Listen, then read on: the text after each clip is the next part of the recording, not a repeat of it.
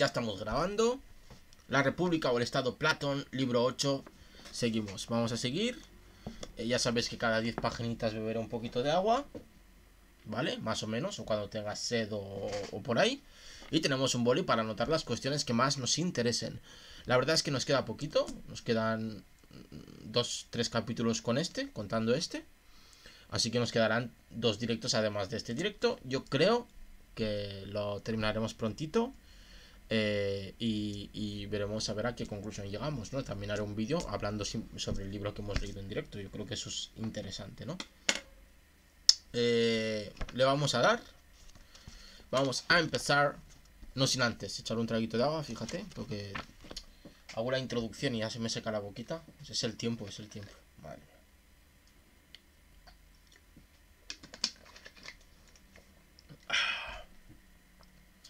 Y vamos un poco a filosofar, vamos a hablar un poquito de la, de la Grecia antigua, vamos a ver qué nos cuenta Platón en boca de Sócrates, que era su maestro, o su supuesto maestro. Libro octavo, La República o el Estado de Platón. Comenzamos. Es pues cosa convenida por nosotros, mi querido Glaucon, que en un Estado bien constituido todo debe ser común. Mujeres, hijos, educación, ejercicios propios de la paz y de la guerra, y que debe designarse como reyes del mismo a hombres consumados en la filosofía y en la ciencia militar. Bueno, ya aquí al inicio del libro octavo aparece la comuna hippie patriarcal que había montado Platón ahí en su cabeza, donde todo era de todos y los filósofos pues iban pasando las mujeres, los hijos, lo que sea. Vamos, eso era Sodoma y Gomorra convenido está, dijo. También hemos convenido en que una vez designados los gobernantes, hay que asentar a los guerreros en casas del género que hemos dicho, que serán comunes y en las que nadie tendrá nada propio. Además de la habitación, recordarás lo que dispusimos sobre la clase de bienes que poseerán. Hablan de Marx, pero realmente el primer comunista fue Jesucristo y Platón. Eh, sí, dijo, recuerdo que nos pareció necesario que ninguno de ellos fuese propietario de nada, que es lo contrario de lo que sucede actualmente con los demás, y que, considerándose como atletas destinados a combatir y vigilar por el bien público, debían proveer a su seguridad y a la de sus conciudadanos y recibir de los demás en retribución de sus servicios lo que necesitarán cada año para su manutención. Aquí al parecer está haciendo un pequeño resumen de todo lo que se ha dicho anteriormente. Bien, repuse. Pero puesto que sobre esta materia hemos dicho ya cuanto había que decir, recordemos la altura a que estaba nuestra polémica cuando dimos cabida a la presente digresión, y tomemos de nuevo el hilo del debate para continuarlo. No es difícil hacerlo, dijo.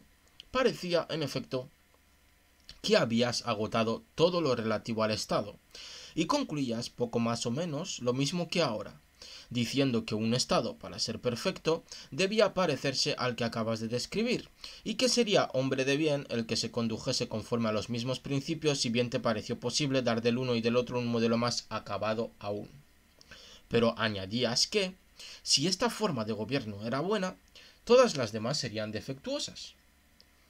En cuanto alcanza mi memoria, recuerdo que contabas cuatro especies, cuatro especies cuyos defectos era conveniente examinar comparándolos con los de los individuos cuyo carácter respondía a cada una de estas especies, a fin de que después de haberlos considerado todos con cuidado y de estar seguro acerca de cuál es el mejor y cuál el peor, nos fuese posible juzgar si el primero es el más dichoso y el segundo el más desgraciado de los hombres, o si las cosas pasan de otra manera. Y en el punto mismo en que te suplicaba yo que nos dieras a conocer esas cuatro especies de gobierno, Adimanto y Polemarco nos interrumpieron y te comprometieron a entrar en la digresión que ha concluido en este momento. Al parecer, ahora la siguiente discusión o la siguiente explicación van a ser los cuatro tipos de gobierno que tiene Platón en la cabeza, ¿vale? Me lo has recordado, dije, con toda exactitud. Haz como los luchadores, dame el mismo asidero y responde ahora la misma pregunta a que te proponías contestar entonces. Lo haré si puedo, dije. Deseo saber cuáles son esos cuatro gobiernos de que hablabas, dijo. No tendré dificultad en satisfacerte, respondí, porque todos ellos son bien conocidos. El primero y más alabado es el de Creta y la Cedemonia. El segundo, que ocupa también el segundo rango en fama, es la oligarquía. Vemos que el segundo es la oligarquía, ¿vale? Y el primero vemos que es el de la Cedemonia y Creta, que espero que nos explique cuáles son porque yo no lo sé. Gobierno expuesto a un gran número de vicios. El tercero, opuesto enteramente al segundo, es la democracia. Enseguida viene la gloriosa tiranía que aventaja a todos los otros tres gobiernos como cuarta y postrera enfermedad que puede padecer un Estado. Por lo tanto, vemos que hay cuatro tipos de estados. El de Creta y la Cedemonia, que no sabemos qué tipo de estado es. El segundo, que sería la oligarquía, el gobierno de los ricos. El tercero, que sería la democracia, el gobierno del pueblo, el demos. Y el último sería la tiranía.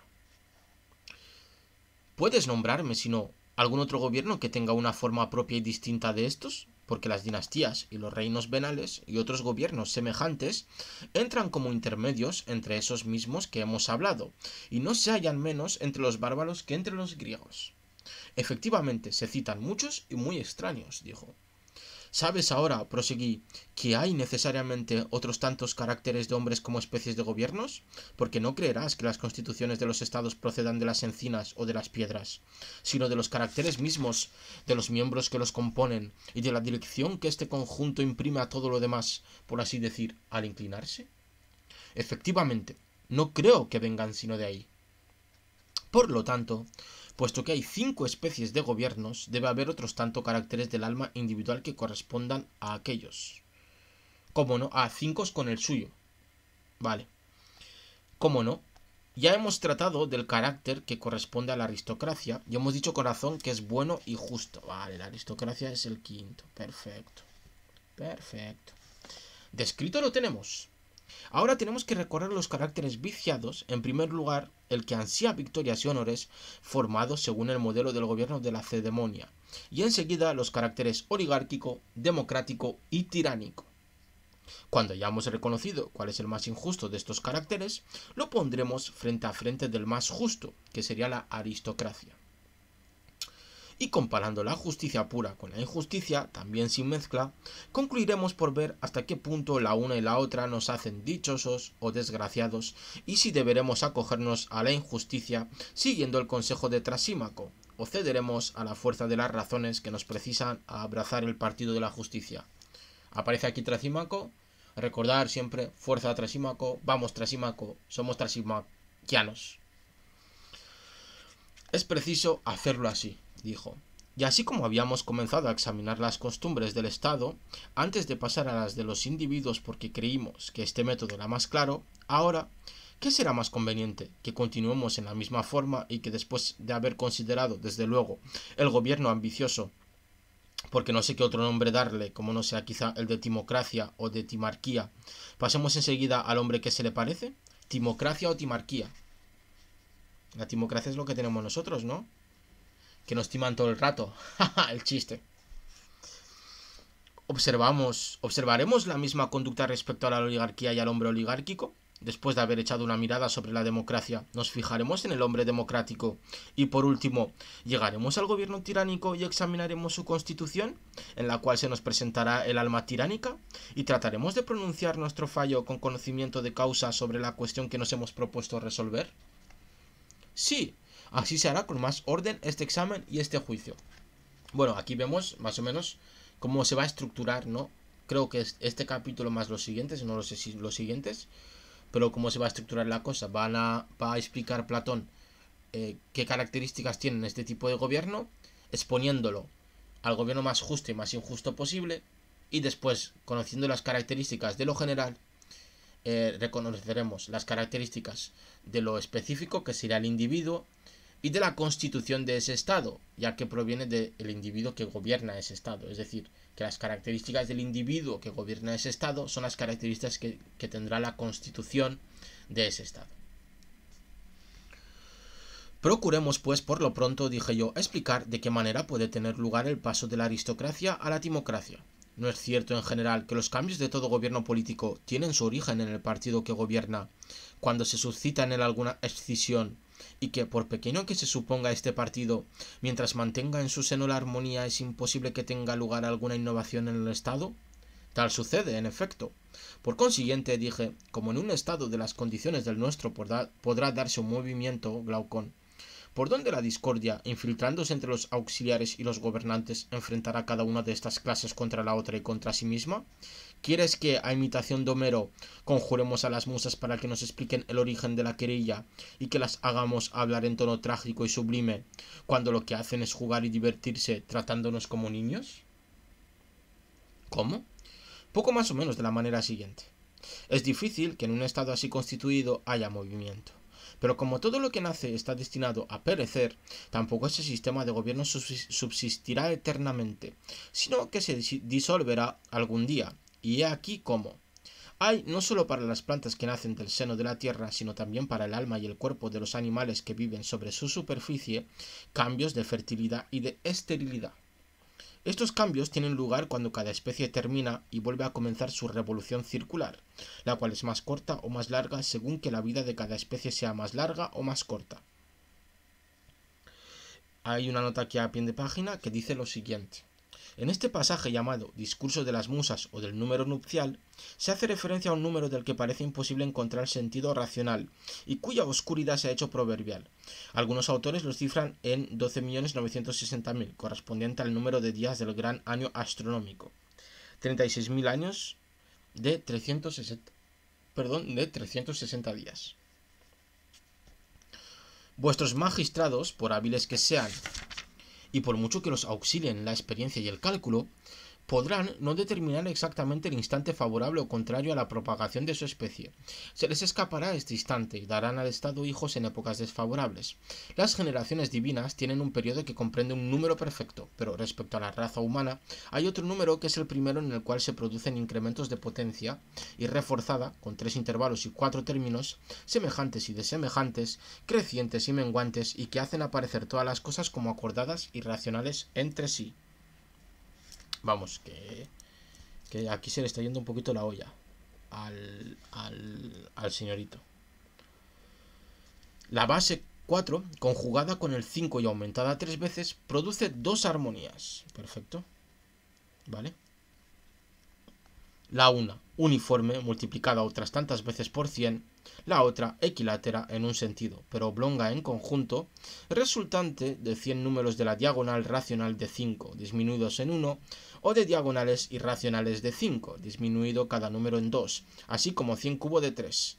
He aquí el número geométrico que de este modo domina todo él sobre los nacimientos mejores o peores. No me he enterado de nada, por lo tanto no os puedo explicar esta parte. Ignorando la virtud de este número, vuestros magistrados harán contraer en épocas indebidas matrimonios de los que nacerán bajo funestos auspicios, hijos de mala índole, sus padres escogerán, es cierto, los mejores de entre ellos para que ocupen su lugar, pero como serán indignos de sucederles en sus puestos, apenas se vean elevados cuando ya comenzarán a despreciarnos a nosotras, las musas, no haciendo de la música el caso que debieran, y despreciando en igual forma la gimnasia, de donde resultará que la educación de vuestros jóvenes será mucho menos perfecta, y así los magistrados que fueren escogidos de entre ellos no tendrán el talento de discernir las razas de oro, de plata, de bronce y de hierro, de que habla Hesiodo y que se encuentran entre vosotros. Llegando pues a mezclar el hierro con la plata y el bronce con el oro, resultará de esta mezcla una falta de conveniencia, de regularidad y de armonía, defecto que, ahí donde aparece, engendra siempre la enemistad y la guerra. Esta es la raza origen de la discordia en todas partes donde surge. Es decir, que la multiculturalidad para Platón, Cerico, ¿eh? Eso de que se junten razas, no, no, ¿eh? No, no, no, no, no. Y nosotros diremos que nos engañan, aseveró. Nada más natural, pues son musas, dije yo. Pues bien, ¿qué es lo que dicen las musas después?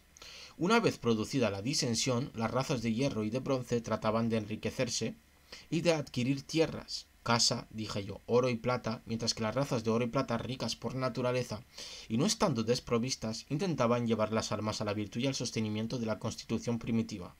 Después de muchas luchas y violencias entre unos y otros, convinieron en dividir entre sí las tierras y las casas, destinando como esclavos al cuidado de sus tierras y sus casas al resto de los ciudadanos a quienes consideraban antes como hombres libres, como sus amigos y como proveedores de su mantenimiento y continuando ellos mismos haciendo la guerra y proveyendo a la común seguridad.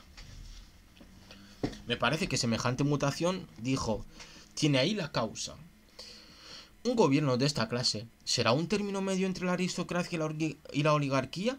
En efecto, el cambio se hará, pues, del modo que yo he explicado. Pero, ¿cuál será la forma de este nuevo gobierno? ¿No es evidente que, por ser un término medio, retendrá algo de lo antiguo y que tomará algo del gobierno oligárquico, pero que, en fin, tendrá algo que sea propio y distintivo? Así es, dijo. ¿Conservará del régimen anterior el respeto a los magistrados, la aversión de los guerreros a la agricultura, a los oficios manuales y a las profesiones lucrativas, la costumbre de las comidas públicas y el cuidado de practicar los ejercicios gimnásticos y militares? ¿No? Sí, vemos que de la aristocracia conservará estas cuestiones. Lo que tendrá de propio no será el temor de elevar a los sabios a las primeras dignidades, porque ya no se formarán en su seno caracteres de una virtud sencilla y pura, sino que aparecerán caracteres compuestos de diversos elementos. El elegir para el mando espíritus más fogosos y simples, nacidos más para la guerra que para la paz, el tener muy en cuenta las estratagemas y ardides de la guerra, y el estar siempre con las armas en la mano. Sí, hombres de esta condición, dije yo, estarán ansiosos de riquezas, como los estados oligárquicos, ciegos adoradores del oro y de la plata. Los honrarán en la oscuridad y los tendrán secretamente encerrados en cofres. Ellos mismos, atrincherados en el recinto de sus casas, como en otros tantos nidos, gastarán en mujeres y en todo lo que la en todo lo que halague sus pasiones. Vemos que de la oligarquía se llevarán consigo la corrupción, ¿no? Entonces tenemos un gobierno que respetará a los sabios, pero no de manera suficiente, porque estos sabios pues estarán corruptos por el dinero, por las riquezas que gastarán para eh, eh, hacer cumplir sus deseos, sus placeres. Serán pues ávaros de su dinero, porque lo aman y lo poseen clandestinamente, y al mismo tiempo serán pródigos de los bienes de los demás a causa del deseo que tienen de satisfacer sus pasiones. Entregados en secreto a todos los placeres, se ocultarán de la ley como un hijo relajado se oculta de su padre. Y todo esto gracias a una educación fundada, no en la persuasión, y sí en la fuerza, por haber despreciado la verdadera musa, la que presida a la dialéctica y a la filosofía, y por haber preferido la gimnasia a la música. Ese de que hablas es un gobierno mezclado de bien y del mal. En efecto, es una mezcla, dije, pero dado que domina aquí la fogosidad, lo que más sobresale es la ambición y la sed de honores. Vemos que es una mezcla. Interesante en gran manera, dijo. Tales serían, pues, dije yo, el origen y las costumbres de este gobierno. No he hecho una pintura exacta de él, sino solo un bosquejo, porque esto basta a nuestro propósito, que es conocer el hombre justo y el injusto, y porque, por otra parte, tendríamos que entrar en interminables pormenores si quisiéramos describir con completa exactitud cada gobierno y cada carácter. Tienes razón, dijo. ¿Cuál es el hombre que corresponde a este gobierno? ¿Cómo se forma y cuál es su carácter? Me imagino, dijo Adimanto, que debe parecerse a Glaucón, por lo menos en punto a ambición. Es decir, que parece ser que Glaucón, a los ojos de Adimanto, es ambicioso. Podrá ser, le dije yo, pero me parece que difiere bajo otros muchos conceptos. ¿Cuáles? Debe ser más obstinado, dije yo, y menos educado con las musas, aunque las ama bastante. Oirá con gusto, pero no tendrá ningún talento para hacer uso de la palabra. Duro con los esclavos, en vez de sentirse superior a ellos, como hacen los que han recibido buena educación. Será dulce con los hombres libres y respetuoso con los gobernantes. Aspirará a los honores y dignidades, no por la elocuencia ni por ningún otro medio del mismo género, sino por las virtudes guerreras, y así tendrá pasión por la caza y por los ejercicios gimnásticos. He ahí, dijo, el carácter de este Estado. Durante su juventud podrá muy bien despreciar las riquezas, proseguí, pero su apego a ellas crecerá con la edad, porque su carácter le inclina a la avaricia, y porque privada su virtud del más excelente guardián, no es pura ni desinteresada. ¿De qué guardián? preguntó Adimanto. La razón combinada con música, porque sólo ella puede conservar la virtud en un corazón que la posee. Vemos que ese es el mayor guardián de todos. Dices bien, asintió. Tal es el joven timocrático, dije yo, imagen del Estado que le corresponde. Muy, muy interesante esto. Exacto. He aquí ahora, dije, de qué manera se forma. Tendrá a veces por padre un hombre de bien, ciudadano en un estado mal gobernado, que huye de los honores, de las dignidades, de las magistraturas y de todas las molestias que los cargos llevan consigo, y en fin, que prefiere perder derechos a sufrir molestias. ¿Cómo se forma el carácter de este joven? preguntó. En primer lugar, por los discursos de su madre, a quien oye quejarse a todas horas de que su marido no tiene cargo alguno en el Estado, que así es ella menos considerada entre las demás mujeres, que su marido no se afana por aumentar su riqueza, que no quiere pelear con nadie ni en procesos privados ni en públicos, y que ella ve claramente que consagrado a sí propio tiene para ella la mayor indiferencia. Esta madre es resentida resentida de una conducta semejante, repite sin cesar al hijo que su padre es un hombre indolente y sin carácter, y otras cien frases semejantes de las que las mujeres acostumbran a decir en tales ocasiones. Machismo incoming. Es cierto que se valen de tales lamentos, porque están en su carácter, dijo Adimanto. Tampoco ignoras, proseguí, que también los criados, aun pasando por ser leales con el hijo de la casa, usan en secreto el mismo lenguaje. Cuando ven, por ejemplo, que el padre no entabla reclamación para el pago de una deuda o la reparación de alguna injuria, le dicen al hijo que cuando sea grande haga valer sus derechos y procure ser más hombre que su padre. Cuando sale de casa, oye por todas partes el mismo lenguaje, ve que son despreciados y considerados como imbéciles los que se ocupan en lo que les importa mientras que son honrados y alabados los que se mezclan en lo que no les interesa. Este joven, que escucha y ve todo esto, y que oye de boca de su padre un lenguaje enteramente distinto, y que observa que la conducta de éste es opuesta a la de los demás, es atraído a la vez por dos fuerzas, por su padre, que cultiva y fortifica la parte racional de su alma, y por los demás, que inflaman su fogosidad y sus deseos.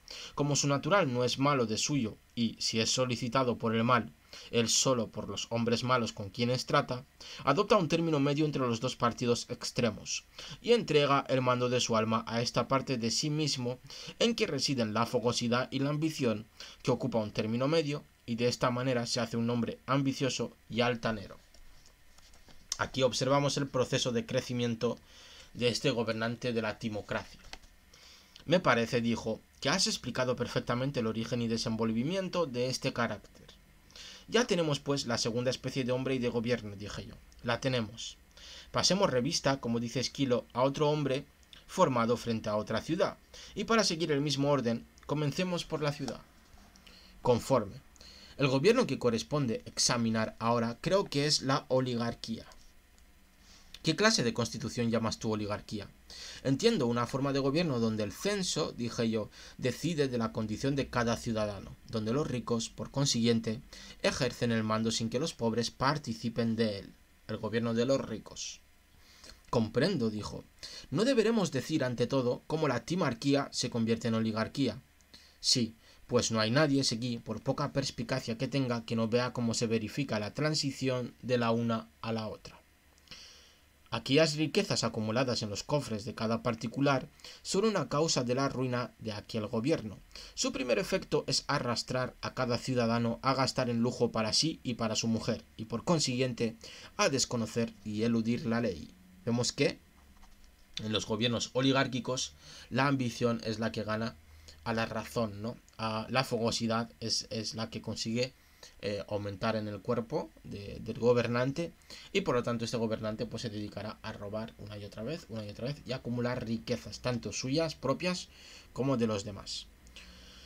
Enseguida, excitados los unos con el ejemplo de los demás y queriendo imitarles, en poco tiempo el contagio se hace general, según creo. En fin, dije yo, se dejan dominar más y más por la pasión de amontonar riquezas, y cuanto más aumenta el crédito de éstas, tanto más disminuye el de la virtud. La riqueza y la virtud no son como dos pesos puestos en una balanza, que se mueven en opuestas direcciones. Vemos aquí que Platón cree que la virtud es opuesta a la riqueza. Por consiguiente, la virtud y los hombres de bien son menos estimados en un estado en la proporción en que se estiman más los ricos y las riquezas. Por lo tanto, un una sociedad que, estime más a los ricos, según Platón, no será una sociedad virtuosa, ¿no? sino que tenderá hacia la oligarquía o se convertirá poco a poco en una sociedad oligárquica. Eso es evidente, dice. Pero se practica lo que se estima y se descuida lo que se desestima. Tal sucede. Por consiguiente, los ciudadanos de ambiciosos y amigos de honores que eran concluyen por hacerse codiciosos y ávaros, reservan todos sus elogios y toda su admiración para los ricos, los empleos son para ellos solos y basta ser pobre para verse despreciado. La famosísima aporofobia. Completamente. Entonces se fijan por una ley las condiciones necesarias para participar del poder oligárquico, y estas condiciones se resumen en la cuota de la renta. La cuota que se requiere es más o menos grande, según que el principio oligárquico esté más o menos en vigor, y está prohibido aspirar a los cargos públicos a todos aquellos cuya renta no asciende a la tasa señalada, y hacen que pase esta ley valiéndose de la fuerza y de las armas, o bien se acepta por temor de que ellos cometan alguna violencia. Es decir, que se estructura, se, se convierte en estructural, ¿no? La, la manera que tienen los ricos de hacer las cosas. ¿No pasan así las cosas? Así es, ciertamente. He aquí, pues, cómo se establece por lo general esta. Sí, pero ¿cuáles son sus costumbres y cuáles los vicios que nosotros le echamos en cara? El primero es el principio mismo de este estado, dije. Escuchan. Escucha lo que voy a decir. Si en la elección de un piloto se atendiese únicamente al censo y se excluyese del gobierno del timón al pobre, a pesar de su experiencia, las naves llevarían muy mala navegación. ¿No será lo mismo respecto a otra gobernación, cualquiera que ella sea? Lo creo así. ¿Y deberemos exceptuar el gobierno de un Estado? Pregunté, o también en este. Mucho más que en ningún otro, dijo, porque es el más difícil y el más importante de todos los gobiernos. Luego, la oligarquía tiene este vicio capital. Tal parece. Vemos aquí que se pone como la también el argumento que se utiliza para decir, por ejemplo, cuando quieres privatizar la educación o hacer que la educación sea para los más ricos, también se utiliza este tipo de argumento que es decir, pero quizá nos perdamos a quien cure el cáncer porque solo eh, pueden eh, educarse eh, una pequeña, un pequeño porcentaje de la población. Existen más probabilidades de que alguien consiga un hito científico, algo que tenga que ver con el, conocimiento, con, el, con el, conocimiento, si todos eh, los que estudian, eh, si aquellos que pueden acceder a una educación superior, eh, pues son más, son más. Entonces tenemos una, una base mucho más amplia donde aplicar esa pequeña probabilidad de que en esa población, pues alguno de ellos consiga algo importante a nivel académico, científico, investigador, etcétera. ¿Y es menos grave este otro? ¿Cuál? Que este estado no sea uno, sino que encierre necesariamente dos estados, uno compuesto de ricos y otro de pobres, que habitan el mismo suelo y que se esfuerzan sin cesar en destruirse los unos a los otros? La lucha de clases, compañeros. Ciertamente, exclamó, exclamó. Este vicio no es menos grave que el primero, por Zeus. Tampoco es una gran ventaja para este gobierno la impotencia en que está de hacer la guerra, porque necesita para ello o armar a la multitud, a la que tiene que temer más que al enemigo, o no servirse de ella, y entrar en lucha con un ejército que merecerá entonces verdaderamente el nombre de oligárquico, prescindiendo de que los ricos se niegan por avaricia a pagar los gastos de la guerra. Madre mía, Platón está de actualidad, ¿eh? Aquí está echándole la, la bronquita a los, eh, a los de la serpiente en el en los avatares y esas mierdas. Está muy lejos de ser una ventaja. Además, ¿no ves que los mismos ciudadanos son a la vez en este régimen labradores, guerreros y comerciantes? ¿Y no hemos proscrito esta acumulación de muchos oficios en manos de un solo individuo? ¿O acaso te parece bien? En modo alguno. Mira ahora si el mayor y primer vicio de esta constitución no es el que voy a decir. ¿Cuál? La libertad en que se deja a cada uno de deshacerse de sus bienes o de adquirir los de los demás, de permanecer en el estado el que los ha vendido sin tener ninguna ocupación, sin ser artesano, ni comerciante, ni soldado, ni otro título, en fin, que el de pobre e indigente. Sí que es el primer vicio. En los estados oligárquicos no se trata de impedir este desorden, porque si se hiciese, los unos no poseerían riquezas inmensas mientras los otros se ven reducidos a la última miseria. Es cierto. Fija tu atención en lo que voy a decir. Cuando este hombre rico en otro tiempo se arruinaba haciendo gastos insensatos, ¿qué ventaja sacaba de ello el Estado? ¿Pasaba por uno de sus jefes? ¿O no era ni jefe ni servidor, ni tenía otro destino que el de gastar sus bienes? Era un pródigo y nada más, pese a la apariencia. ¿Quieres entonces, pregunté, que digamos que este hombre que, al igual que en su celdilla nace un zángano, azote de la colmena, nace él en su casa como otro zángano, azote del Estado? Así es, Sócrates. Pero ¿acaso no hay esta diferencia, mi querido Adimanto, que Dios ha querido que los zánganos alados nazcan sin aguijón, mientras que si entre los zánganos de dos pies los hay que no tienen aguijón, otros por el contrario lo tienen muy punzante? Los que no lo tienen, ¿acaso no envejecen y mueren en la indigencia, mientras que entre los que lo tienen se encuentran todos los malhechores? Nada es más cierto, dijo. Es claro que en todo estado en que veas pobres, dije yo, hay ladronzuelos, rateros, sacrílegos y malvados de toda especie. Aquí vemos aquí que Platón tiene un, una imagen de los pobres, pues, eh, como en parte delincuentes, ¿no? O en parte un poquito dejados o alejados de la civilización. Evidente, dijo. Pero en los gobiernos oligárquicos no hay pobres. Casi todos los ciudadanos lo son, dijo, a excepción de los gobernantes. Por consiguiente, dije, no estamos autorizados para creer que en tales estados se encuentran muchos malhechores armados de aguijón, a quienes los magistrados vigilan y contienen por fuerza.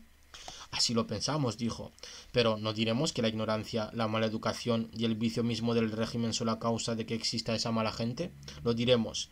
Tal es el carácter del Estado oligárquico, tales son sus vicios y quizá tiene aún más. Quizá, dijo. De esta manera resulta acabado, dije yo, el cuadro de este sistema que se llama oligarquía, en el que el censo determina a los gobernantes.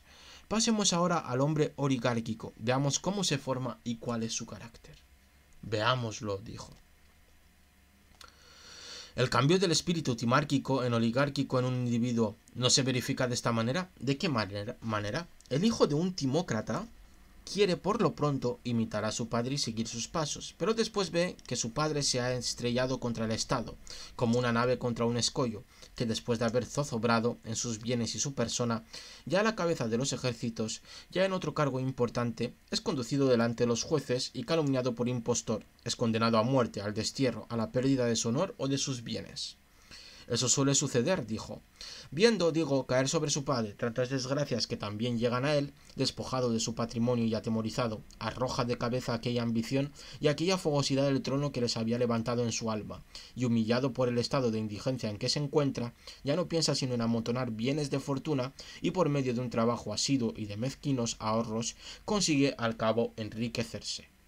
¿No crees que entonces hará subir aquel mismo trono el espíritu de codicia y de avaricia, convirtiéndole en su gran rey y ciñéndole la tiara, el collar y la cimitarra?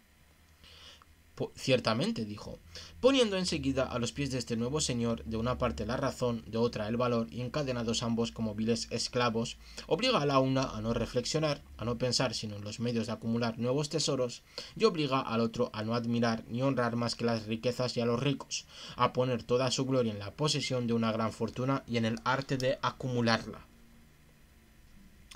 En un joven no hay cosa más rápida y violenta que el paso de la ambición a la avaricia, dijo. ¿No es este el carácter oligárquico? Dije. Por lo menos, la metamorfosis parte de un hombre semejante a la constitución que, según hemos visto, concluye en oligarquía. Veamos si es igual a ella. Veámoslo. Y aquí voy a ver un poquito de agüita, si me lo permitís. Y seguimos. Muy, muy interesante. Pues también este libro octavo, porque nos va explicando poquito a poco qué tipos de gobiernos cree él que, existen y cuáles son sus vicios.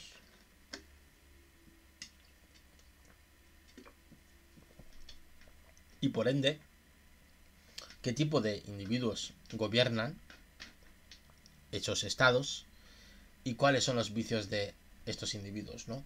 Y también nos explica cómo se crean estos individuos desde su juventud hasta su madurez a la que llegan para eh, controlar o estar en el estado.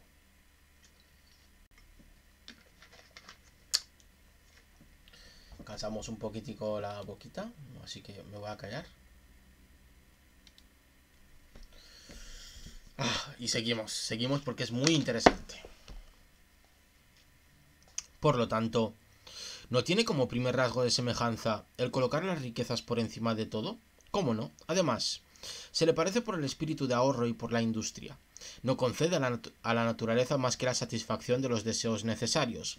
Se priva de, de todo otro gasto y domina todos los demás deseos considerándolos como insensatos. Exactamente. Es sórdido, dije yo. En todo busca ganancia, no piensa más que en atesorar, en fin.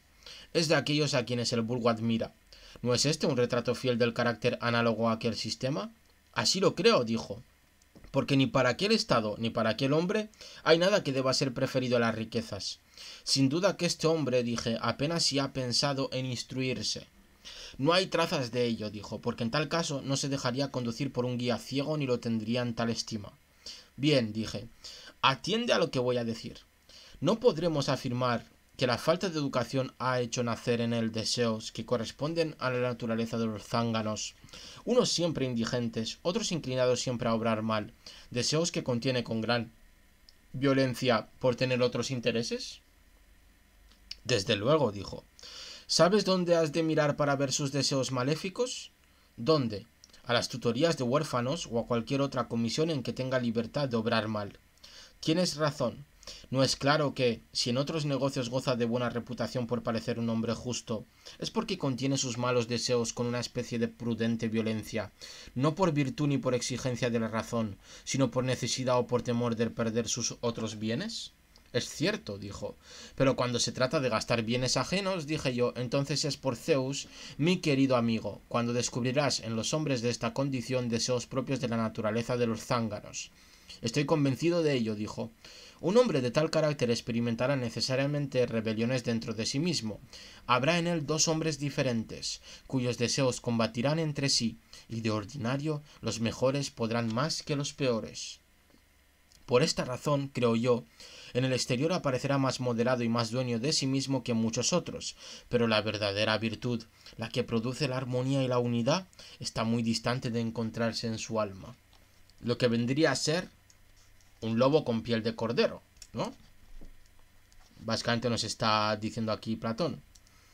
Si se suscita alguna cuestión de honor entre particulares o una lucha entre conciudadanos, este hombre por tacañería no será un rival de cuidado. No gusta de gastar su dinero por cosas de honor, ni por esta clase de combates, porque teme despertar en su alma deseos pródigos y llamarlos en su auxilio.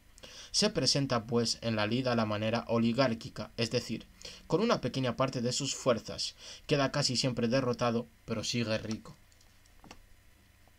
Un hombre que prefiere perder antes que eh, dejar de, tener dinero, ¿no? de atesorar riquezas, bienes y materiales. ¿Dudaremos aún de la perfecta semejanza que hay entre el hombre avaro y negociante y el hombre y el gobierno oligárquico? En modo alguno, dije me parece que corresponde ahora examinar el origen y las costumbres de la democracia y observar después estas mismas cualidades en el hombre democrático, a fin de que podamos compararlos entre sí y juzgarlos. Eso es, si hemos de seguir nuestro método acostumbrado, dijo. Hostia, ahora va a ser muy interesante porque si os consideráis demócratas, vamos a ver si entramos, pues yo me considero democrático, o que mi tipo de democracia sea diferente a la que estamos acostumbrados pero vamos a ver si entramos, si entráis en, en la definición de democracia o de hombre democrático que, que da Platón. Vamos a ver. Pues bien, dije yo, ¿no se pasa de la, de la, oligarquía a la democracia a causa del deseo insaciable de estas mismas riquezas que se miran como el primero de todos los bienes en el gobierno oligárquico? ¿Cómo? Los gobernantes, que deben los cargos que ocupan, creo yo, a las inmensas riquezas que poseen, se guardan bien de reprimir mediante la severidad de las leyes el libertinaje de los jóvenes corrompidos, ni de impedir que se arruinen con sus despilfarros, porque su plan es comprarles los bienes, hacerles préstamos con crecidos intereses y aumentar por este medio sus riquezas y su crédito. Pero no es evidente que en todo estado, cualquiera que él sea, es imposible que los ciudadanos estimen la riqueza y practiquen al mismo tiempo la templanza, sino que es una necesidad que sacrifiquen una de estas dos a la otra. Eso es completamente evidente, dijo. Así es que en las oligarquías los magistrados, por su tolerancia con el libertinaje, han reducido muchas veces a la indigencia a hombres bien nacidos. Esto da origen a que haya en el Estado gentes provistas de aguijones, unos oprimidos con las deudas, otros despojados de sus derechos y algunos que padecen de ambas cosas, todos los cuales se hallan en permanente hostilidad contra los que se han enriquecido con los despojos de su fortuna y contra el resto de los ciudadanos, no aspirando más que a promover una revolución. Madre mía, Che Guevara incoming, ¿eh? Con Platón. Sin embargo, los negociantes van con la cabeza gacha, preocupados con su negocio y sin reparar en los que han arruinado. hieren hincándoles el aguijón de su dinero a los que se posen a su alcance, y recogen los multiplicados intereses que engendra su capital, multiplicando por este medio en el Estado la raza de los zánganos y de los pobres. ¿Cómo no ha de multiplicarse? dijo. No quieren, a pesar de eso, contener esta plaga creciente, dije yo, ya impidiendo a los particulares disponer de sus bienes a su capricho, o ya mediante una ley que impida igualmente el progreso del mal. ¿Y cuál es esa ley? Una que es natural emplear a falta del primer remedio, y que obligaría a los ciudadanos a preocuparse de su virtud, porque si los contratos voluntarios se celebrasen a cuenta y riesgo del prestamista, la usura se ejercería con menos descaro, y en el Estado no abundarían tanto los males de que he hablado. Así se ven los ciudadanos reducidos a este triste estado, dije yo, por culpa de los gobernantes, y como una consecuencia necesaria, estos mismos se corrompen y corrompen a sus hijos, los cuales, pasando una vida voluptuosa sin ejercitar su alma ni su cuerpo, se hacen débiles e incapaces de resistir al placer y al dolor. Ocupados sus padres únicamente en enriquecerse, desprecian todo lo demás, y no toman más interés por la virtud que los indigentes. Con esta disposición de espíritu, cuando gobernantes y gobernados se encuentran juntos en viajes u otras ocasiones, como en una teoría, que una teoría aquí pone que es una peregrinación religiosa, en el ejército, tanto en mar como en tierra, o en cualquier otra coyuntura, y se observan mutuamente en circunstancias peligrosas, los ricos entonces no tienen ningún motivo para despreciar a los pobres. Por el contrario, cuando un pobre, flaco y quemado por el sol, se ve en una pelea al lado de un rico educado a la sombra y muy obeso, viéndole jadeante y agobiado, ¿qué crees que pensará? ¿No se dirá a sí mismo que estas gentes se lo deben sus riquezas a la cobardía de los pobres? Y cuando se encuentran juntos, ¿no se dicen unos a otros, en verdad, estos hombres son nuestros, pues son bien poca cosa? Madre mía, el discurso revolucionario, ¿eh? Tenemos aquí un discurso revolucionario tope de, del, Platón, de nuestro querido Platón. Estoy persuadido de que hablan y piensan de esa manera, dijo. Y así como a un cuerpo enfermizo le basta el más pequeño empujón para caer en la enfermedad y en ocasiones cae sin que sobrevenga ninguna causa exterior, así un estado que se encuentra en la situación que acabo de decir no tarda en ser presa de sediciones y guerras intestinas en el momento en que, con el menor pretexto, unos y otros llaman en su auxilio a aliados exteriores de estados oligárquicos y de estados democráticos, y algunas veces las dos facciones se despedazan con sus propias manos sin que los extranjeros tomen parte en sus querellas. Recordar o, por si no lo sabíais, que en la Grecia clásica o en la, en la antigua Grecia muchas veces se recurría para resolver problemas internos de las diferentes ciudades-estado a otras ciudades-estado eh, que ayudasen a resolver esos problemas. Muchas veces lo que pasaba, eh, como en Atenas de Pericles, por ejemplo, era que eh, eso se convertía en una dominación muy muy fuerte por parte del Estado que había ayudado eh, al Estado que estaba en, en, peligro, que tenía problemas, en una dominación económica o militar, o incluso en, en, una traición y en una conquista posterior, ¿no? Por lo tanto, pues, este tipo de maniobras para resolver tus asuntos internos recurriendo a aliados externos podrían eh, resultar muy muy peligrosas. El gobierno se hace democrático cuando los pobres, consiguiendo la victoria sobre los ricos, degüellan a los unos, destierran a los otros y reparten con los que quedan los cargos y la administración de los negocios, reparto que en estos gobiernos se arregla de ordinario por la suerte. Aquí aparece, pues cómo se hace un gobierno democrático según Platón. Así es, en efecto, como la democracia se establece, dijo él, sea por la vía de las armas, sea que los ricos, temiendo por sí mismos, tomen el partido de retirarse. ¿Y cuál será la administración? dije yo. ¿Cuál la constitución de este nuevo sistema?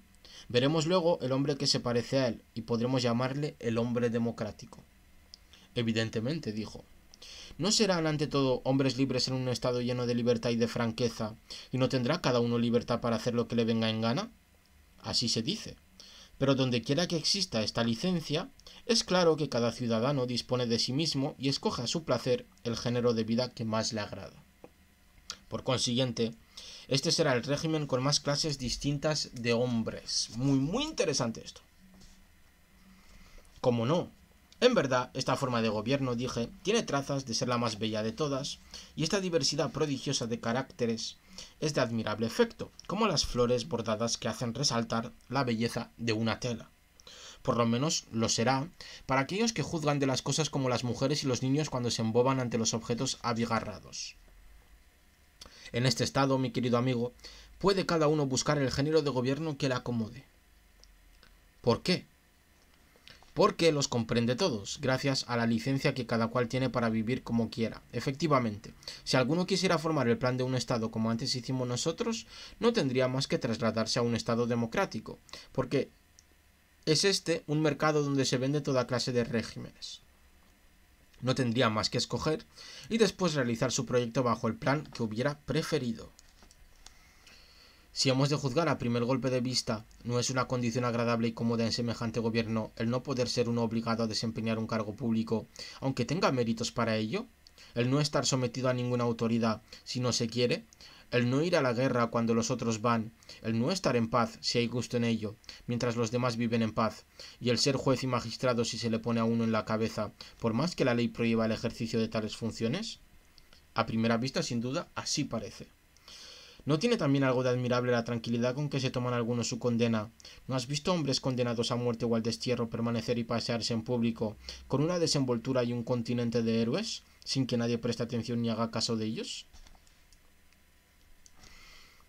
Y esta indulgencia, esta manera de pensar ajena a todo escrúpulo mezquino, que hace que se desdeñen aquellas máximas de que nosotros hemos tratado con tanto respeto al trazar el plan de nuestro Estado, cuando dijimos que a, que, a no estar dotado de una naturaleza extraordinaria, ninguno podría hacerse virtuoso si desde la infancia no había jugado rodeado de cosas bellas, para después aplicarse a cosas semejantes, ah, con qué magnífica indiferencia se pisotean todas estas máximas sin tomarse el trabajo de examinar cuál ha sido la educación de los que se ingieren en el manejo de los negocios públicos, qué empeño, por el contrario, en acogerlos y en honrarlos, con tal de que se digan amigos del pueblo. Noble régimen, sin duda. Tales son, entre otras muchas, las características de la democracia, dije yo. Es, como ves, un gobierno muy cómodo, donde nadie manda, en el que reina una mezcla encantadora y una igualdad perfecta, lo mismo entre las cosas desiguales que entre las iguales. Oye, pues la democracia parece que mola, ¿eh? Considera ahora, proseguí, este carácter en un individuo particular, o más bien, para seguir siempre el mismo orden, ¿no debemos ver antes cómo se forma? Sí, dijo, ¿no se forma de esta manera? El hombre avaro y oligárquico tiene un hijo al que educa en sus mismas costumbres.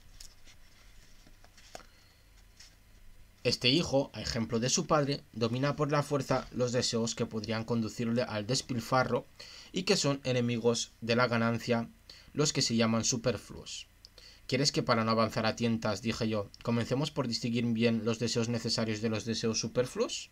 Sí lo quiero, no hay razón para llamar deseos necesarios a aquellos de los que no podemos prescindir y cuya satisfacción, por otra parte, eh, nos es útil, porque evidentemente estos deseos son necesidades de nuestra naturaleza, ¿no es así? En efecto, con justa razón los, los llamaremos por consiguiente deseos necesarios. En cuanto a aquellos de que es fácil deshacerse si desde joven se toman precauciones y cuya presencia, lejos de producir en nosotros ningún bien, nos causa muchas veces grandes males, ¿no diremos bien si los llamamos superfluos? Perfecto. Muy bien. Tomemos un ejemplo de unos y otros para formarnos de ellos una idea más exacta. El deseo de comer algo condimentado, en cuanto es indispensable para mantener la salud y las fuerzas, ¿no es necesario? Creo que sí. El simple deseo de alimentarse es necesario por dos razones. Porque es útil comer y porque en otro caso sería imposible vivir. Y el del condimento también, en cuanto viene bien a la salud. Pero el deseo de toda clase de comidas y de guisados, deseo que se puede reprimir y hasta quitar por entero mediante una buena educación desde la juventud, deseo dañoso al cuerpo y al alma, a la razón y a la templanza, ¿no debe ser comprendido con razón entre los deseos superfluos? Con muchísima, con muchísima razón. Diremos, por tanto, que estos son deseos pródigos y aquellos deseos provechosos porque nos sirven para hacernos más capaces de obrar? ¿Qué otra cosa si no? El mismo juicio formaremos de los apetitos sexuales y todo lo demás. Así es. No hemos dicho que aquel a quien hemos dado el nombre de zángano, que estaba dominado por los deseos superfluos, mientras que el hombre ahorrativo y oligárquico solo es gobernado por los deseos necesarios? ¿Cómo no? Expliquemos de nuevo cómo este hombre oligárquico se hace democrático. Y aquí de qué manera, a mi juicio, se verifica esto ordinariamente. Cuando un joven maleducado en la forma que hemos dicho y alimentado en el amor al lucro llega a gustar la miel de los zánganos y a vivir en relación con estos insectos ávidos y hábiles para procurar toda clase de placeres, ¿no sufre entonces el gobierno interior de su alma un cambio pasando de oligárquico que era a democrático? Es una necesidad inevitable, dijo. Así es como el Estado ha mudado de forma, porque una facción ha sido auxiliada por extranjeros que favorecían sus designios, del mismo modo, no es una necesidad que este joven mude también de costumbres a causa del apoyo que sus pasiones encuentran en las pasiones ajenas de la misma naturaleza. Totalmente de acuerdo. Si su padre o sus parientes enviasen por su parte auxilios a la facción de los deseos oligárquicos y para sostenerla reprendiesen y afeasen su conducta, ¿no sería su corazón entonces teatro de una guerra intestina entre revolución y contrarrevolución? Como no, algunas veces sucede que la facción democrática cede ante la oligárquica, y entonces ciertos deseos son en parte destruidos, en parte arrojados del alma, efecto de un pudor que se despierta en el joven, que entra así de nuevo en la senda del deber. Pero bien pronto, a causa de la mala educación que ha recibido de su padre, nuevos deseos, más fuertes y numerosos, suceden a los que ha desterrado. Estos nuevos deseos la arrastran otra vez a buscar los mismos compañeros, y de esta relación clandestina nace una multitud de otros deseos. Por último, se apoderan de la ciudadela del alma de este joven, después de haber visto que estaba vacía de ciencia, de nobles costumbres, de máximas verdaderas, que son la salvaguardia más segura y más fiel de la razón de los mortales amados de los dioses. Sin duda, dijo, Bien pronto, juicios falsos y presuntuosos y opiniones atrevidas acuden en tropel y ocupan el lugar de aquellos. Es cierto, dijo. ¿No es entonces cuando vuelve a unirse a aquellos comedores de lotos, no se ruboriza ya de mantener relación íntima con ellos? Si de parte de sus amigos o de sus parientes llega algún refuerzo al elemento parco de su alma, las máximas presuntuosas cerrando prontamente las puertas del castillo real, niegan la entrada a este socorro, ni siquiera escuchan los consejos que, a manera de embajada, envían ancianos llenos de buen sentido y experiencia. Secundadas estas máximas presuntuosas por una multitud de perniciosos deseos, consiguen la victoria y calificando el pudor de imbecilidad, lo rechazan ignominiosamente, destierran la templanza después de haberla ultrajado, dándole el nombre de cobardía, y proscriben la moderación y la frugalidad, a las que califican de rusticidad y bajeza. Después de haber creado este vacío en el alma del desgraciado joven, y de haberlo purgado como a quien se inician los más grandes misterios, introducen en su alma, con numerosos acompañamientos, ricamente adornadas y con coronas sobre la cabeza, la insolencia, la anarquía, el desenfreno y la desvergüenza de los que hacen mil elogios, encubriendo su fealdad con los nombres más preciosos, la insolencia, con el de buena educación, la anarquía, con el de libertad, el desenfreno, con el de magnificencia, la desvergüenza, con el del valor. No es de esta manera, dije, como un joven, acostumbrado desde la infancia a no satisfacer otros deseos que los necesarios, pasa al estado de libertad en el que se deja dominar por una infinidad de placeres superfluos y perniciosos. Vemos aquí que hay un proceso realmente de cambio individual, ¿no? Del, hombre oligárquico al hombre democrático, como el hombre oligárquico tiene esos deseos eh, que, que, Platón llama necesarios, que sería aquel de eh, comer, ¿vale? Por ejemplo, comer un, determinado alimento que nos hace bien a la salud, y como el hombre democrático tiene eh, deseos superfluos, que serían aquellos que le permiten elegir qué tipo de comida quiere comer. Creo que es muy interesante la distinción que se nos ofrece aquí. Porque refleja cómo el deseo necesario solo es hacer una cosa, mientras que el deseo democrático, podríamos llamar los deseos superfluos, son eh, los deseos que quieren hacer una cosa, en este caso es comer, pero que quieren tener un abanico eh, del cual elegir, ¿no? Eh, pues me apetece comerme un solomillo, me apetece comerme un guiso, etcétera, etcétera. Después de todo esto, vive, creo yo, sin distinguir los placeres superfluos de los placeres necesarios. Se entrega a los unos y a los otros y no ahorra para satisfacerlos, bienes, cuidados ni tiempo.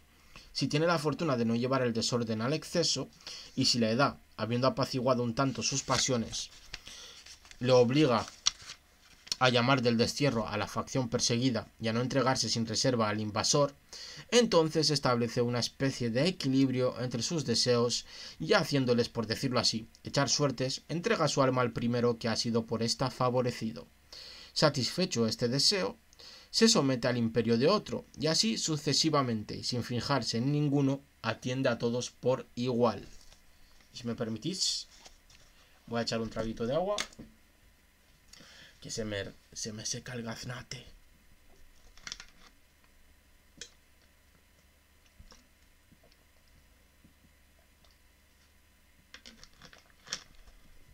Va el directaco más guapo. La verdad es que tanto el libro anterior como este libro resultan harto interesantes.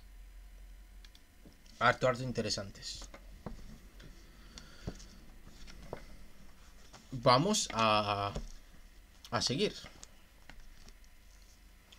Si alguno llega a decirle, seguí, que hay placeres de dos clases, unos que son resultado de deseos justos y legítimos y otros que son fruto de deseos perversos, y que es preciso estimar y buscar los primeros, reprimir y domar los segundos, vuelve la cabeza a todo esto y solo responde a ello por signos desdeñosos y sostiene que todos los placeres son de la misma naturaleza y merecen ser satisfechos, es decir, que todos los placeres son iguales. Lo que promueve la democracia, una de las características más importantes es la igualdad, según Platón. Vive al día. El primer deseo que se presenta es el primero que satisface. Hoy tiene deseo de embriagarse entre canciones báquicas y mañana ayunará y no beberá más que agua. Tan pronto se ejercita en la gimnasia como está ocioso y sin cuidarse de nada. Algunas veces es filósofo, las más es hombre de Estado. Sube a la tribuna, habla y obra sin saber lo que dice ni lo que hace. Un día envidia la condición de los guerreros y él aquí convertido en guerrero. Otro día se convierte en negociante por envidia de los negociantes. En una palabra, en su conducta no hay nada fijo, nada de arreglado, y llama a la vida que pasa vida libre y agradable, vida dichosa. Vemos que parece ser, pues, un individuo líquido, podríamos denominar. Nos has pintado al natural la vida de un amigo de la igualdad, es lo que yo os decía. Este hombre, que reúne en sí toda clase de costumbres y de caracteres, tiene toda la gracia y la variedad del estado popular, y no es extraño que tantas personas de uno y otro sexo encuentren tan encantador un género de vida en el que aparecen unidas casi todas las clases de gobiernos y caracteres. Podremos, pues, frente a frente de la democracia a este hombre que se puede con razón llamar democrático? Pongámoslo, dijo. Ahora nos queda por examinar, dije yo, la forma más bella de gobierno y el carácter más acabado, quiero decir, la tiranía y el tirano. Ojo que le gusta lo tiránico al señor Platón, ¿eh? Le gusta la buena dictadura. ¿eh? Veamos, mi querido amigo, cómo se forma el gobierno tiránico. Por lo pronto, parece que debe su origen a la democracia. Muy interesante esto, porque muchas veces se parte de una democracia hacia una dictadura. De hecho, es lo que temen todos los eh, estudiosos de, de la sociología de la política, o lo que se estudia o lo que se intenta prever es cómo se puede pasar de un régimen democrático, entre comillas, sea el que sea, tenga las características que tenga, a un régimen tiránico y por qué se pasa y cuáles son los condicionantes de ese paso, ¿no? Por lo tanto, vemos que Platón ya nos hablaba de eso. Es muy interesante estudiar a los clásicos porque vemos muchas veces y lo hemos estado viendo en, en, esta lectura que muchas veces eh, siguen seguimos ahondando en los mismos temas que se ahondaban hace más de 2000 años cosa que pues nos puede dar una perspectiva de lo que de verdad debe interesarnos y de lo que de verdad pues eh, resulta fútil y no debemos de gastar saliva eh, para enfrentarnos a ello ni para eh, discutir sobre ello, realmente, ¿no? Eh, por eso creo que es interesante leer a Platón. El paso de la democracia a la tiranía no se verifica poco más o menos lo mismo que el de la oligarquía al, de la democracia. ¿Cómo? Lo que en la oligarquía se considera como el mayor bien y lo que puede decirse que es el origen de esta forma de gobierno es la riqueza, ¿no es así? Lo que causa su ruina, sin embargo, no es el deseo insaciable de enriquecerse y la indiferencia que por esto mismo se siente por todo lo demás. Es verdad, dijo. Por la misma razón, para la democracia es la causa de su ruina el deseo insaciable de lo que mira como su verdadero bien, ¿Y qué es eso que define como tal? La libertad. Repliqué. En un Estado democrático oirás decir por todas partes que la libertad es el más precioso de los bienes, y que por esta razón todo hombre que haya nacido libre fijará en él su residencia antes que en ningún otro punto.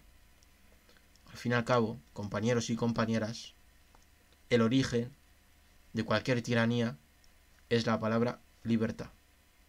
Aquí Platón tiene razón. Toda tiranía empieza gritando de viva voz libertad. No es, pues, y esto es lo que querría decir, este amor a la libertad llevado hasta el exceso y acompañado de una indiferencia extremada por todo lo demás, lo que pierde al fin a este régimen y hace la tiranía necesaria? ¿Cómo? preguntó. Cuando un Estado democrático, devorado por una sed ardiente de libertad, Está gobernado por malos escanciadores que la derraman pura y la hacen beber hasta la embriaguez. Entonces, si los gobernantes no son complacientes, dándole toda la libertad que quiere, son acusados y castigados, so pretexto de que son traidores que aspiran a la oligarquía. Con el mismo desprecio, dije, tratan a los que muestran aún algún respeto y sumisión a los magistrados, echándoles en cara que para nada sirven y que son esclavos voluntarios. Pública y privadamente alaban y honran la igualdad que confunde a los magistrados con los ciudadanos. En un estado semejante, ¿no es natural que la libertad se extienda a todo? ¿Cómo no ha de extenderse? no penetrará en el interior de las familias la anarquía y al fin no se comunicará hasta a los animales? ¿Qué quieres decir? Que los padres, dije, se acostumbran a tratar a sus hijos como a sus iguales, y si cabe a temerles, estos a igualarse con sus padres, a no tenerles ni temor ni respeto, para gozar de completa libertad, y que los simples metecos se igualan a los ciudadanos y viceversa, y hasta los extranjeros aspiran a los mismos derechos. Eso y otras pequeñeces por el estilo, dije, los maestros en semejante estado temen y adulan a sus discípulos. Estos se burlan de sus maestros y de sus ayos. En general, los jóvenes quieren igualarse con los viejos y pelearse con ellos, ya de palabra, ya de hecho. Los viejos, a su vez, condescendiendo con los jóvenes, se llenan de humor y jocosidad para imitar sus maneras, temiendo pasar por personas de carácter altanero y despótico. Pero el abuso más intolerable que la libertad introduce en la democracia, dije yo, es que los esclavos de ambos sexos no son menos libres que los que los han comprado. Y ya casi se me olvidaba decir qué grado de libertad y de igualdad alcanzan las relaciones entre los hombres y las mujeres. No olvidemos nada y según la expresión de Esquilo, digamos todo lo que nos venga a la boca. Muy bien, dije, es lo mismo que estoy haciendo. Dificultad habrá en creer, al no haberlo visto, que los animales domésticos son en este gobierno más libres que ningún otro. Las perras, según el proverbio, se hacen como sus dueñas, y los caballos y los asnos, acostumbrados a marchar con la cabeza erguida y sin agacharse, chocan con todos los que se encuentran si no se les permite el paso. En fin, todo goza aquí de una plena y entera libertad. Me refieres, dijo, mi propio sueño. Más de una vez, cuando voy al campo, me sucede eso. ¿No ves, dije, los males que resultan de todo esto? ¿No ves cómo se hacen suspicaces los ciudadanos hasta el punto de rebelarse e insurreccionarse a la menor apariencia de coacción? Y por último, llegan, como tú sabes, hasta no hacer caso de las leyes, escritas o no escritas, para no tener así ningún señor? Lo sé muy bien, contestó. De este principio tan bello y tan encantador es de donde nace la tiranía, por lo menos a mi entender. El mismo azote que ha perdido la... Perdón, madre mía. El mismo azote que ha perdido a la oligarquía, tomando nuevas formas y nuevos crecimientos a causa de la licencia general, arrastra la esclavitud al Estado democrático, porque puede decirse con verdad que no se puede incurrir en un exceso sin exponerse a caer en el exceso contrario. Esto mismo es lo que se observa en las estaciones, en las plantas, en nuestros cuerpos y en los estados lo mismo que en todas las demás cosas.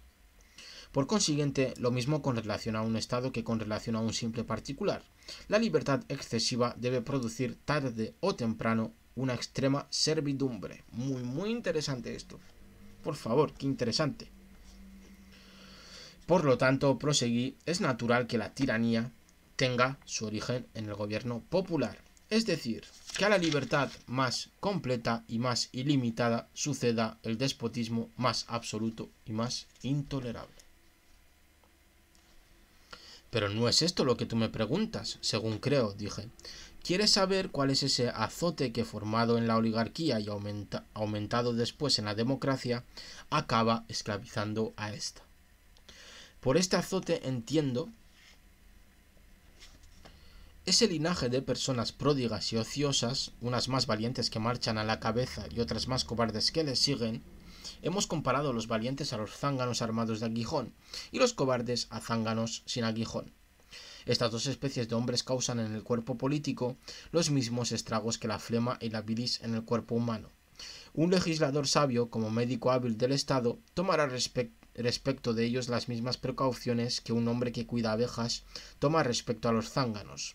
Su primer cuidado será impedir que nazcan, y si a pesar de su vigilancia nacen, procurará erradicarlos lo más pronto posible, así como las celdillas que han infestado. Para comprender mejor Mejor aún lo que queremos decir, enfoquémoslo de otro modo. Separemos con el pensamiento el Estado democrático en las tres clases de que efectivamente se compone. La primera La primera es la que nace de la licencia pública, que hace que su número no sea menor que en la oligarquía. Sin embargo, hay la diferencia de que es aquí mucho más maléfica que en aquella. ¿Por qué razón?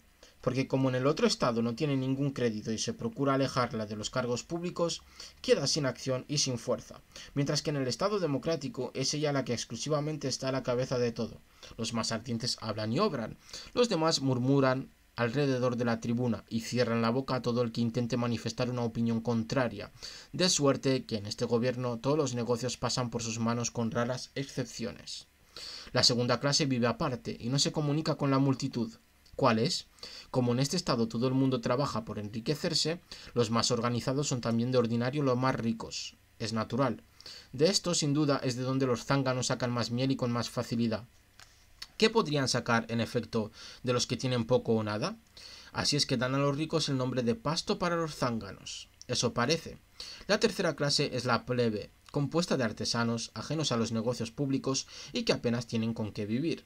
En la democracia esta clase es la más numerosa y la más poderosa cuando está reunida en asamblea. Sí, pero no se reúne como no tenga esperanza de recibir alguna miel. Por esto los que presiden los que presiden a estas asambleas hacen los mayores esfuerzos por proporcionársela.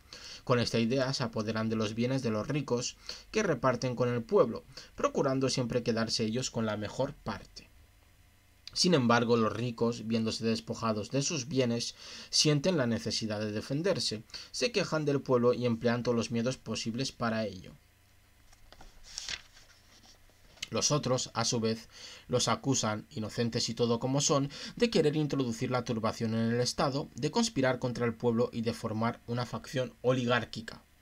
Pero cuando los acusados se perciben se aperciben de que el pueblo, más que por mala voluntad, por ignorancia y seducido por los artificios de sus calumniadores, se pone de parte de estos últimos, entonces, quieran ellos o no quieran, se, se, hacen de hecho oligárquicos. No es a ellos a quienes hay que culpar por esto, sino a los zánganos que los pican con sus aguijones. Enseguida vienen las denuncias, los procesos y las luchas entre los partidos. ¿No es natural que el pueblo tenga entonces alguno a quien confíe especialmente sus intereses y a veces procure engrandecer y hacer poderoso? Eso suele hacer en efecto. Es evidente, pues, dije, que de esta estirpe de protectores del pueblo es de la que nace el tirano, y no de ninguna otra. La cosa es clara. Pero el protector del pueblo, ¿por qué principia a hacerse tirano? ¿No será evidente que cuando comienza a hacer una cosa parecida a lo que se dice que pasaba en Arcadia en el templo de Zeus Liceo? ¿Qué dice que pasaba ahí? Se dice que el que comía entrañas humanas mezcladas con las de otras víctimas se convertía en lobo. ¿No has oído decirlo?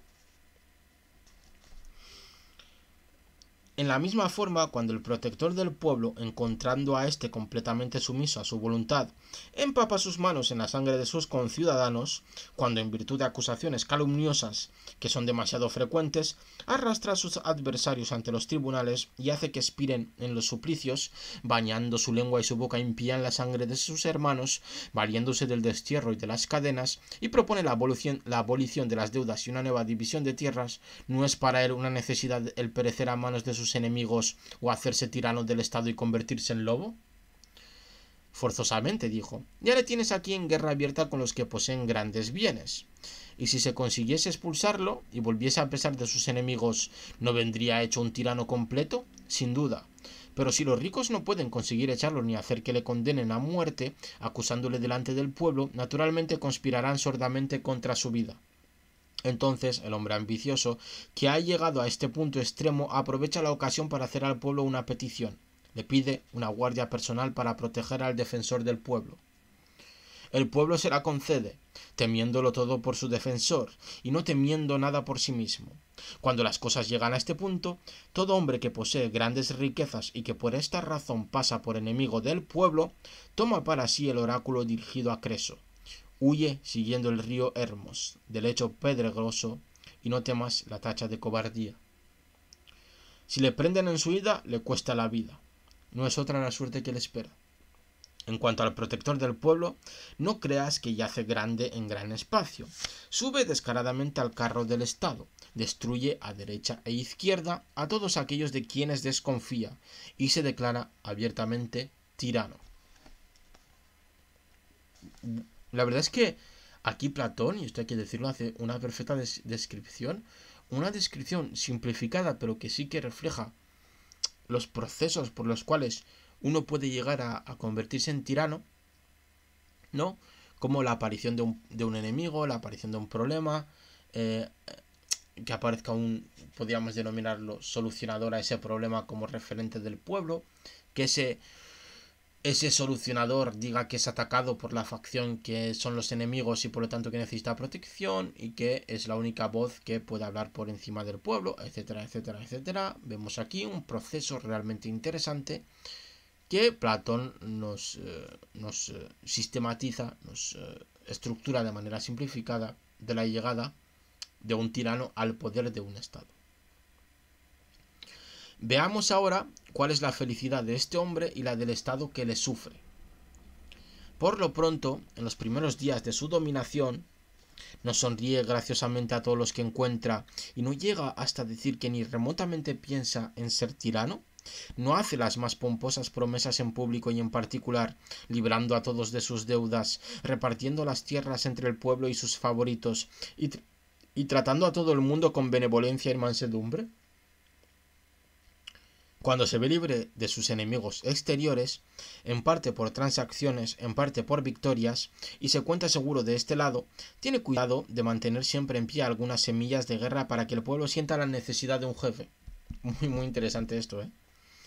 Y sobre todo para que los ciudadanos empobrecidos por los impuestos que exige la guerra solo piensen en sus diarias necesidades y no se hallen en estado de conspirar contra él.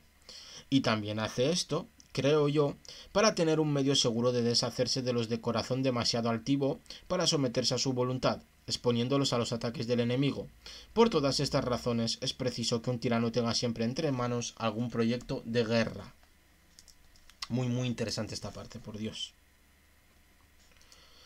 Pero semejante conducta no puede sino hacerle más y más odioso a sus conciudadanos y algunos de los que contribuyeron a su elevación y que son los que después de él tienen mayor autoridad, no hablarán con él o entre sí con mucha libertad de lo que pasa, censurándolo al menos los más atrevidos? Es preciso que el tirano se deshaga de ellos si quiere reinar en paz, y que sin distinguir amigos de enemigos haga que desaparezcan todos los hombres de algún mérito. Debe ser muy perspicaz para distinguir los que tienen valor, grandeza de alma, inteligencia y riqueza, y su felicidad estriba, quiera o no quiera, en hacer a todos la guerra y tenderles lazos sin tregua hasta que haya purgado de ellos al Estado. Hace lo contrario de los médicos, que purgan el cuerpo quitándole lo malo y dejándole lo bueno. En verdad, bendita necesidad la suya de perecer o vivir con canalla, que tampoco puede evitar que la aborrezca. Tal es su situación, dijo. ¿No es claro que cuanto más odioso se haga a sus conciudadanos a causa de sus crueldades, tanta más necesidad tendrá de una fiel y numerosa guardia? Pero, ¿dónde encontrará esas gentes fieles? ¿De dónde las hará venir? Si paga bien, acudirán en gran número de todas partes, dijo. Me parece que ya te entiendo, por el can, exclamé. Acudirán enjambres de zánganos de todos los países. ¿Es verdad lo que te parece? Dijo. Pero ¿por qué no a gente de su país? ¿Cómo? Formando su guardia de esclavos a quienes declararía libres después de haber hecho morir a sus dueños. Muy bien, porque tales esclavos les serían enteramente adictos. Dichosa, pues, dije, la condición de un tirano si se ve obligado a destruir a aquellos ciudadanos y a convertir estos en sus amigos y fieles servidores. Si me permitís beber agua, y si no me equivoco, bueno, no, no voy a beber agua, vamos a terminar porque quedan dos páginas. ¿Para qué, para qué coño beber agua ahora? Pero de ello se sirve, dijo. Estos nuevos ciudadanos le admiran y viven con él en la más íntima familiaridad. Es el núcleo duro. Mientras que los hombres de bien le aborrecen y huyen de él.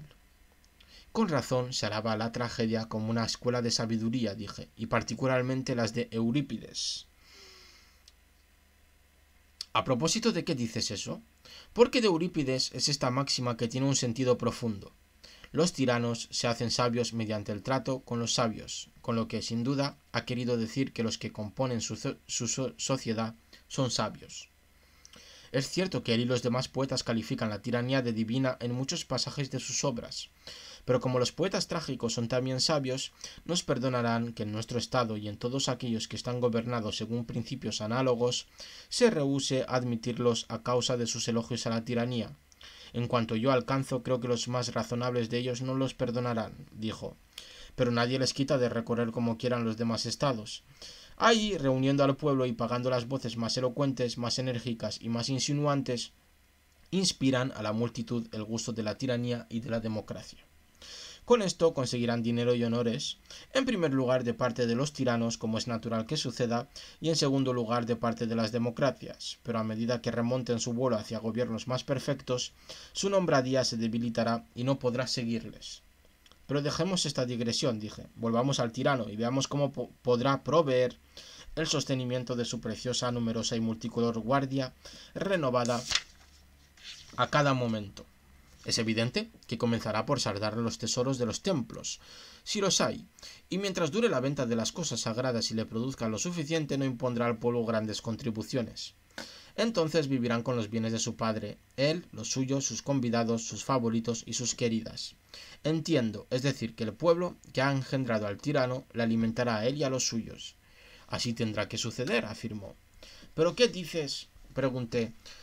Si el pueblo se cansase al fin y le dijese que no es justo que un hijo ya grande y fuerte sea una carga para su padre, que por el contrario a él toca procurar el mantenimiento a su padre, que, al formarle y educarle, no ha sido su ánimo que se convirtiera en dueño cuando fuera grande, ni ser él, el padre, esclavo de sus esclavos, ni alimentarle a él y a esa muchedumbre de extranjeros que le rodean, que lo que se propuso fue solamente liberarse por su, por su medio del yugo de los ricos y de los que se llaman en la sociedad hombres de bien ¿No deberá en este concepto mandarle que se retire con sus amigos, con la misma autoridad que un padre arroja de casa a su hijo con sus compañeros de libertinaje?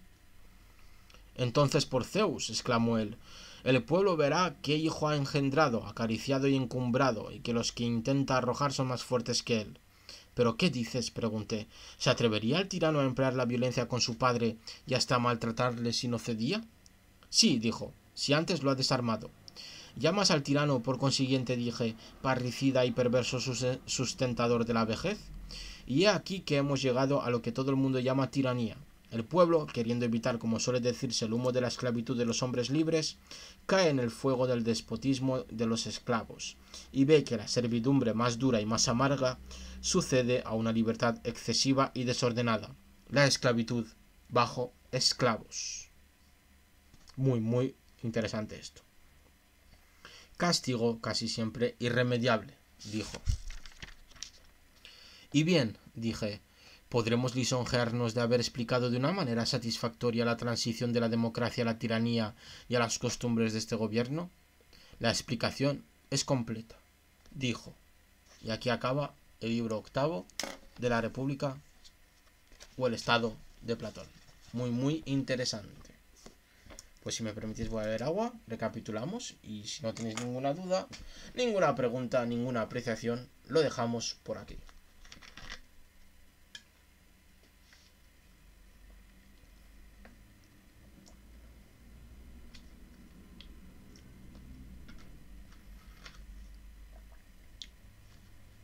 Pues recapitulando, así con la boca un poquito menos seca, podemos decir lo siguiente. En este octavo libro se han especificado cinco tipos de gobierno, cinco tipos de individuos que deberían de gobernar esos estados, esos gobiernos, y también se especifica cómo se pasa de uno a otro.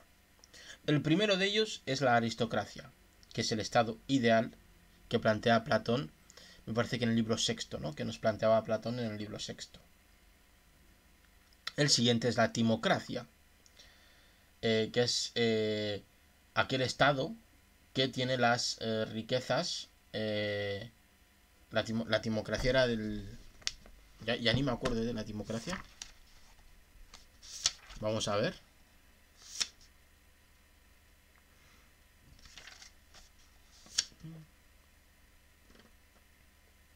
Vale, ya me acuerdo. La timocracia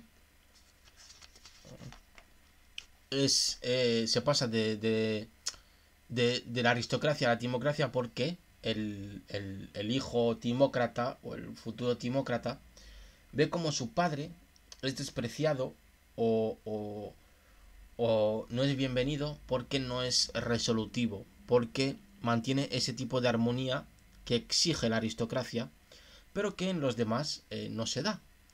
Lo que hace que el hijo vea que su padre es despreciado, su padre pierde enormemente las, eh, las capacidades de mando, que no resuelve las cosas, que no se mete en disputas, y encima también tiene a su madre que refleja mediante eh, expresiones todas estas características, pero no solo su madre, sino también todos sus, ¿cómo se llamarían? Sus sirvientes, eh, que también le dirían lo mismo al hijo. Entonces el hijo vería en su padre el ejemplo de la virtud, de la aristocracia, de ese gobierno ideal, pero en todos los demás, no ya solo en su madre o en los sirvientes, en todos los demás vería esa que podríamos llamar corrupción o degradación, eh, que eh, no le hace ningún bien a un estado aristocrático. Por lo tanto, la timocracia y el individuo timócrata sería aquel individuo que se debate entre estas dos opciones, la opción de su padre, el virtuoso, el sabio, y la opción de todos eh, los demás, su madre, los sirvientes y todo el resto del pueblo griego, que son, eh, que se han, por decirlo de esta manera, corrompido, ¿no? Por lo tanto, siempre tiene esta disputa dentro y deja de ser un gobierno ideal para convertirse en un gobierno timocrático. Del gobierno timocrático Pasamos al gobierno oligárquico. ¿Cómo se pasa este gobierno oligárquico? Siendo el gobierno oligárquico el gobierno de los ricos y de los que desean las riquezas, siempre necesarias. Recordemos que Platón hace una distinción, distinción muy clara entre las riquezas necesarias y las riquezas superfluas. Las necesarias serían aquellas que, valga la redundancia, necesitamos, como comer un tipo de comida que nos resulte saludable. Y las superfluas, superfluas eh, los deseos superfluos, serían aquellos que eh, eh, no los necesitamos. por ejemplo, sí, comer comida, pero tener un abanico al cual elegir. ¿no? La oligarquía tendría la corrupción de las primeras, de los deseos necesarios. ¿Por qué? De la timocracia a la oligarquía se pasa de la siguiente manera. Este hijo timocrático ya, que se debate entre la pureza y la virtud de su padre y la corrupción eh, timocrática de, eh, de sus madres, de su sirviente, de todo el pueblo, pues va eligiendo poco a poco, se va decantando por esa especie de deseos, de deseos que hacen que pierda la virtud. Y esos deseos, a pesar de ser necesarios, son eh, acumulativos, es decir, no tienen un fin en sí mismos. Por lo tanto, pues hace que este eh, señor, este joven timocrático, se convierta en oligárquico eh, debido a que desea o porque desea las riquezas tanto suyas como la de los demás. Además, otra característica muy interesante del gobierno oligárquico es que hace de sus deseos necesarios ley. Por lo tanto, da el gobierno a todos aquellos que van y que buscan estos deseos necesarios y eh, deja fuera del gobierno a todos los demás. Esto provoca un malestar enorme entre aquellos que se quedan fuera del gobierno y que tampoco pueden aspirar a él porque no persiguen estos deseos. Del gobierno oligárquico pasamos al gobierno democrático, se trata más bien de una rebelión de los pobres frente a los ricos o frente a los que sustentaban estos gobiernos oligárquicos, proponiendo la libertad de desear y ser lo que uno quiera, la libertad de elegir el régimen que uno quiera vivir, la libertad de desear lo que cada uno quiera desear, en fin, la libertad de elección máxima. Esto también, este, este, esta libertad también provoca cierto desorden y también provoca la igualdad entre esclavos y amos, entre hombres y mujeres, entre alumnos y maestros, etcétera, etcétera. Esto, claro, este desorden provoca eh, que puedan existir diferentes eh, eh, disputas que se hagan por facciones, ¿no? que, que ocurren dentro del mismo Estado. Porque como dice Platón, una libertad excesiva conlleva una tiranía. Aparecen representantes tanto de los más ricos a los que se les pretende igualar o, quitar de alguna manera algunos de sus bienes para repartirlos con los demás, y también surgen representantes del pueblo. Estos representantes del pueblo, mediante diferentes subterfugios, consiguen eh, encumbrarse como la voz principal del pueblo y mediante la, ya sea mediante la violencia, mediante la expulsión, mediante la rendición de los otros corpus políticos que se han podido crear, estos, eh, este, tira, este tirano ya, este joven tirano, eh, pues eh, realmente conseguirá el poder y convertirá su gobierno en una tiranía, que tendrá unas características específicas. Pues y para terminar, esto es lo que hemos visto en, en, este, en este libro octavo. Así que simplemente espero que os haya gustado tanto como a mí. Nos vemos en siguientes directos. Buenas noches. Que pasen